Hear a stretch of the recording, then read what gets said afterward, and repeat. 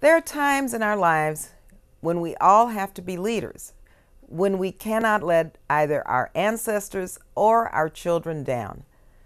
I think that's what accomplishment is all about recognizing those moments and living up to them.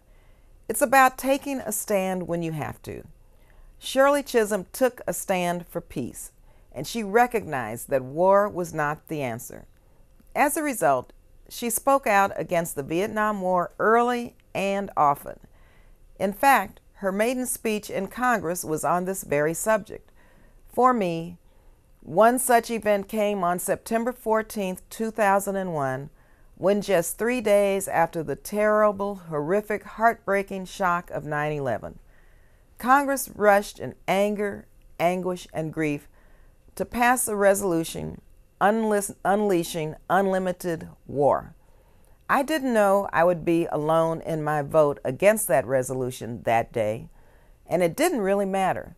Sometimes you just have to do what you know what is right in your heart, even if you're alone. The principles that guided her were correct then, and they remain true today as we spend billions of dollars on wars around the world when domestic needs at home are suffering.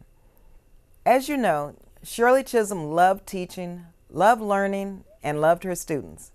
I know that her advice to you today would remain the advice she gave me many years ago when we met. She told me to be involved in my community and she encouraged me to register to vote. She also told me to study hard and get a good education. She stated many times that her greatest accomplishment while a legislator in Albany was the passage of the SEEK program, which provided financial and counseling assistance to students entering college for the first time. The program was designed to advance the cause of equality in higher education at the City University of New York. I want to encourage all of you to study hard and get a good education.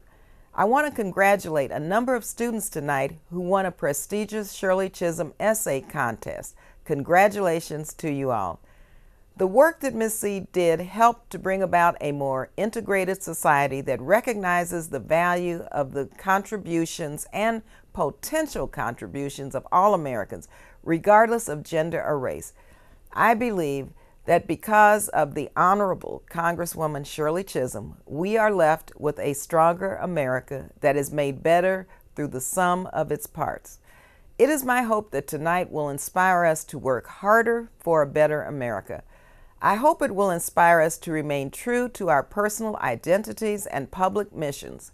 And I know tonight will help us work harder and organize better and get us even closer to reigniting the American dream for all.